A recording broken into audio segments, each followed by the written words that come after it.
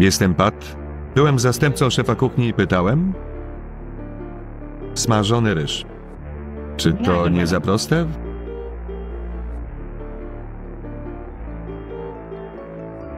Włoku?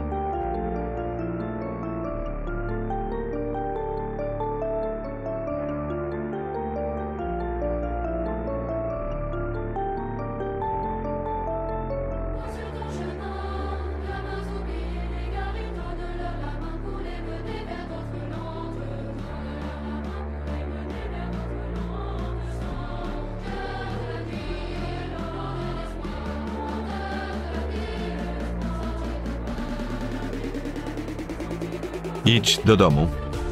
Ryż tej wieśniaczki nie może być lepszy niż mój.